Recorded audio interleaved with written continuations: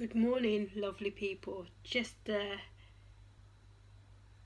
ending of the morning on the 25th of April. I'm just in time. It was 11.56, now it's 11.57. And I really wanted to come in today and give you a short video diary, a little bit of a product review. Currently, I'm on my menstruation once again, and a woman's life, yes, but after my myomectomy surgery, friends, I have loved my ministrations because I know sometimes in life one has to lose certain organs for certain reasons. And I am just so glad I get my ministrations that I'm a healthy woman so to speak because it means that I can one day have my own dependent hopefully fingers crossed touch wood. But yeah.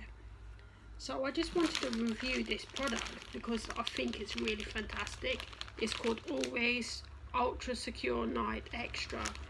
And I have found that some pads in the past prior to surgery were not very good or comfortable.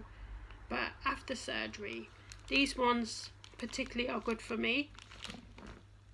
Sometimes my menstruation can be a little bit heavy I would say at the start first one to three days. But then it eases down and it's it's alright. But I will say it's no way in and as heavy as it was prior to surgery. So there is improvement there from my myomectomy surgery. But I really love these pads by Always. These pads in particular is in a black label um, packaging, if you can see that.